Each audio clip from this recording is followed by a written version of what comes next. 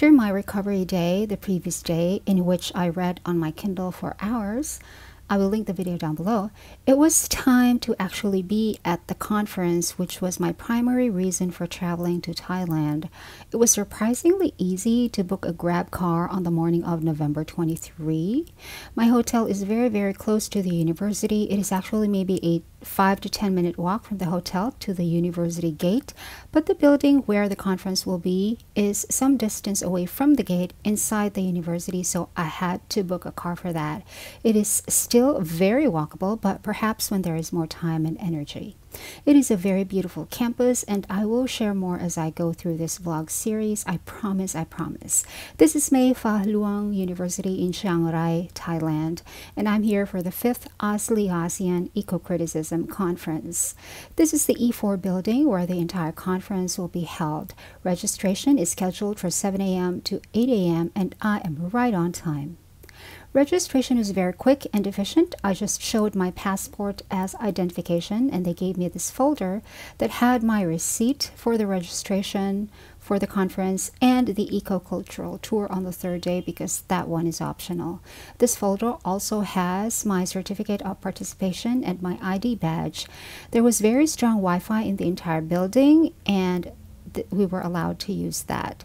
This is an international conference, and so there was also an instruction sheet on how to use the translation app, but because the panels I attended were in English, I did not need to use this. They also gave us freebies. This shoulder bag is so, so cute. It is very Thailand. And here is the abstract book that contains the abstracts of every single person in the conference and their bios and contact details. We can use this book to network in case we want to collaborate on a new or ongoing research. This book is a treasure chest of people. Here's the page that contains my abstract for the conference. The paper I will be presenting is on the novel Tiempo Muerto by Caroline Hau. Below is my little bio. That last statement, though, might no longer be true. My final thesis defense is once again postponed. There's also this cute little notepad with a pen. Inside, it just has blank cream colored pages, and the pen is a ballpoint. And inside the bag, there was also a pin that I did not notice. The conference started on time and I was fascinated from the very beginning. Everyone is so accomplished in their fields of research. These are academics with PhDs or currently working for their PhDs or currently trying to pick a university for their plans for their PhD. I feel like I am the runt of the entire conference because I don't even have a master's degree yet and my bachelor's degree is in economics, but I got accepted to this conference on the strength of my abstract alone, so there's a lot of pressure for me to rise to the occasion.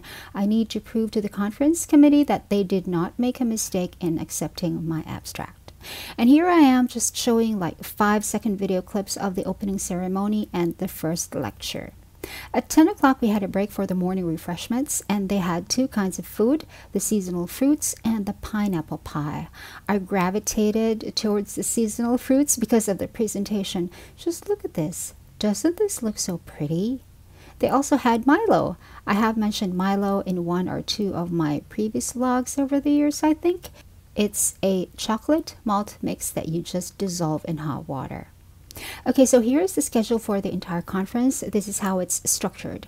The panel presentations will be held within the next two days, and the third day will be for the eco-cultural tour. There will be several panel sessions to be held simultaneously. They're called parallel panels, and I have encircled the persons that I know personally because naturally those are the panels I want to attend and support. And the great thing is they are placed together with people who wrote a related or similar paper. So if you're looking for people to collaborate with, this is actually really also a guide on where to meet who in person. Of course, I want to support my friends, but I love that I also get to watch them discuss their topics with other people that we are just meeting on this day. This is me. I'm scheduled for the second day of the conference at 3 p.m. At this point, I have actually not finalized the ending of my paper yet. I figured attending the different panels scheduled prior to mine will give me an insight on how to end my own paper. But I must admit, it also placed me under even more pressure because everyone I have watched at this point was so phenomenal. the level of method and academic rigor is just astounding. The lady in red is Dr. Lily Rose Tope, a retired professor from the University of the Philippines, Diliman. The food is also great. I enjoyed it so much, I even forgot to film a footage showing the food for lunch before I ate it all. The vending machines here in the building are also next level. There is a button to tap for English instructions, so I was able to order a hot chocolate for myself. And the machine actually gives you change. Like this hot chocolate cost 35 baht. I put in 100 baht and it gave me change in coins. And it also tells me how much longer I need to wait. It is so cool. This is the panel that included my friend Thomas Leonard Shaw. After that panel discussion, it was time for the afternoon refreshments, and oh my gosh, these are so beautiful. I also opted for some tea. This is the jasmine oolong tea, and it is so fragrant. I must get myself some of these. It is so calming. I even love the little trays that they have. It's shaped for the cup and the little plate for the food. It is so nice. It makes me so happy just looking at this. And yes, those are food and they are so pretty, but I managed to eat them all. I also attended the panel with Jason Telias about sports, but I wasn't able to film a video. We had to slip out after his presentation because we also wanted to be in the panel of our friend Nicolo Vitug. And that was the last panel that I attended on the first day of the conference. It ended earlier than scheduled, so while waiting for the other panels to finish, I was able to walk around a little bit inside the E4 building.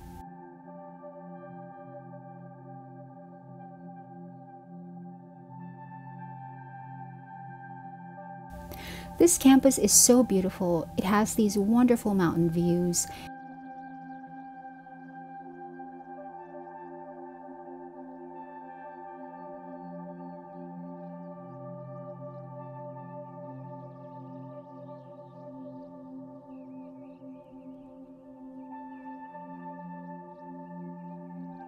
And this is the lobby where we have our breaks and where we usually converge for quick meetups before and after the conference.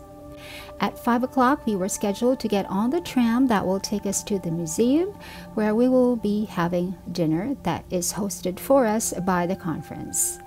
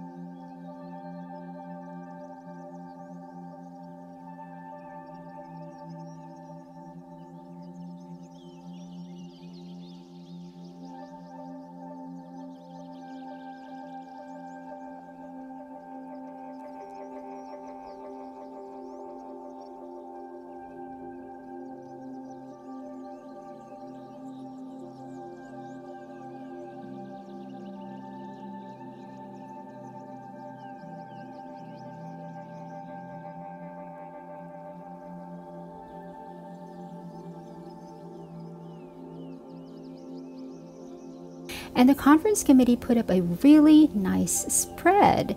This is so wonderful and there's a lot.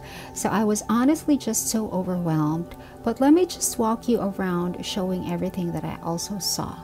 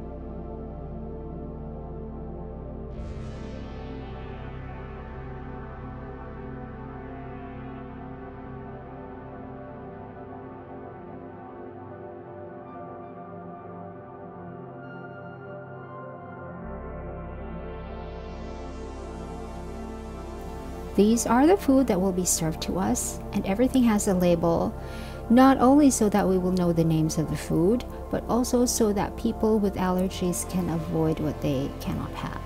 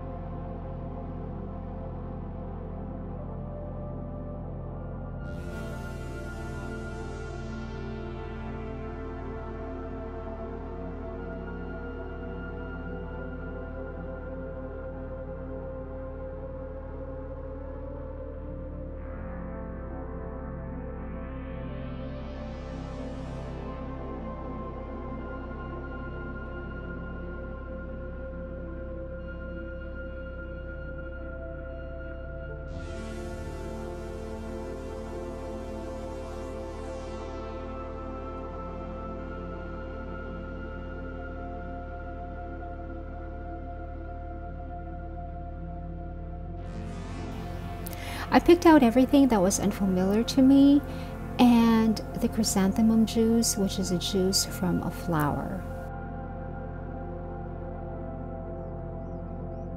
While we were having our dinner, there was also a performance which I really appreciated.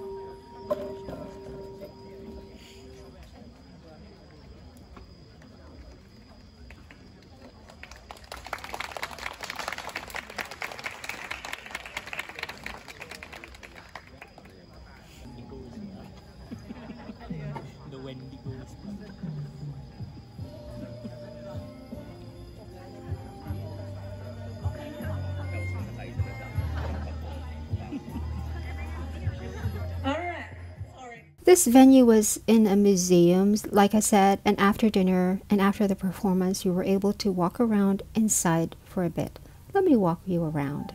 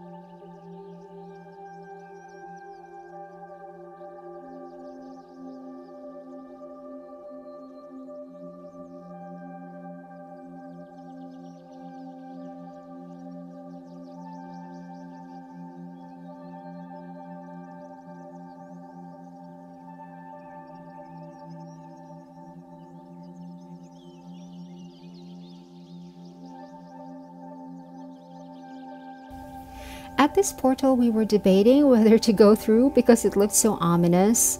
But Thomas Googled what's on the label and it said it brings good fortune. So we all quickly walked through.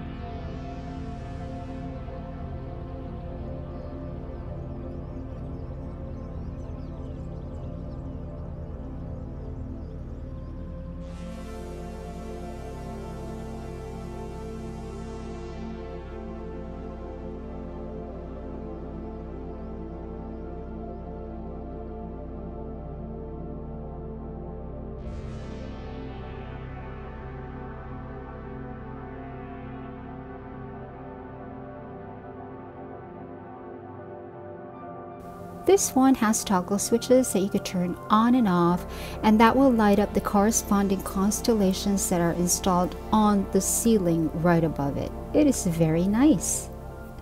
After a little while, it was time to end the day. A van took us to the university gate and from there it was just a short walk to my hotel. It was a wonderful day.